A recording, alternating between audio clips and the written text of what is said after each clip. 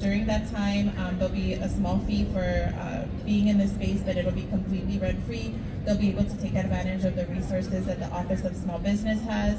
And this is just so that you know your business can grow. We know that it's hard times right now. We've talked about the uh, commercial rent prices are very high.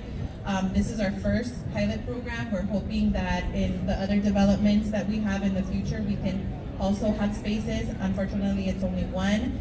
But if you're interested in your business uh, possibly being considered and you have not had a brick and mortar before, please go to our website as well under LA County Launchpad and we can go ahead and uh, fill out the interest form so that we can go ahead and consider you for the future because we are building a list since uh, we plan to only uh, have the business there occupy the space for about 12 to 24 months. So we will be, it will be a rotating space. So it's a very cool concept and we're hoping that we can open some more of these up in the future. So continue to check the Office of Small Business um, uh, with the Office of Small Business Department and also with our website for different grants and opportunities that there may be.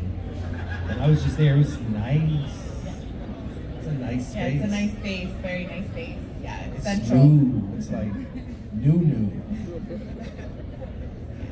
Um, so I guess one question that I have, and this is kind of just not in the note cards, but how do I take the money that I'm making and turn that into wealth, right? A lot of times people get loans and they don't manage the funds correctly and it kind of just turns into more debt for them.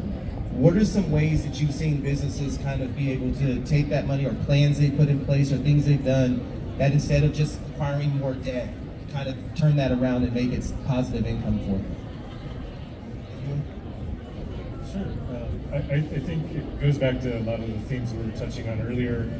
Really have a plan in place, a, a detailed budget, and execute that plan for how you're going to use those resources. And your plan, it should outline how you intend to grow your revenue. It shouldn't just be, you know, sort of keeping debt at bay. You should really have an idea how you're going to get on the other side of that and, and show, you know, a positive return and stick to that plan, you as best you can. That, that's the key.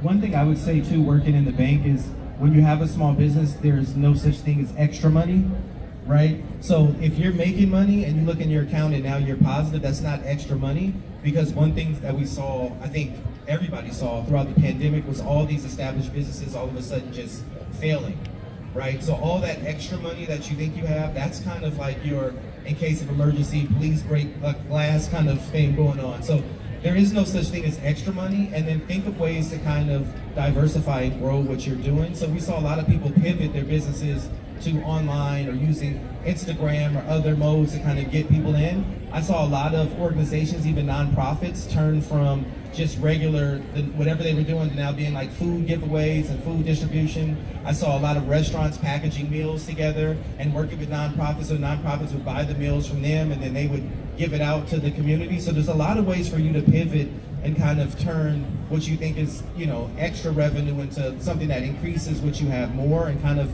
using those resources to kind of grow your business in other directions that you might not have anticipated before. So don't ever think you have extra money. It's like when my kids ask me, do I have spare change? I'm like, what's spare change? Like, I don't have any extra money just laying around. So um, just always think of ways that you can kind of pivot and grow your business.